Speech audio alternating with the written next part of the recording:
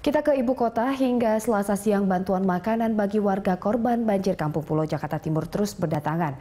Meski bantuan sudah mulai berdatangan namun para korban masih membutuhkan bantuan alat kebersihan untuk membersihkan sisa material tanah yang terbawa air sungai. Bantuan yang berdatangan bagi para korban di antaranya berasal dari Persatuan Istri Kabinet Indonesia Bersatu dan bantuan ini mulai berdatangan sejak hari Senin pagi hingga selasa siang. Banjir di kawasan ini sejak Senin pukul 11 malam sudah mulai surut.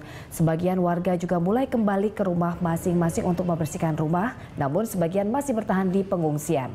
Berdasarkan informasi dari BMKG, curah hujan tinggi diperkirakan masih akan terjadi hingga awal Februari mendatang, sehingga warga sekitar masih tetap siaga. Sementara itu untuk membersihkan sampah pasca banjir, diperkirakan setidaknya membutuhkan 10 hingga 12 truk sampah.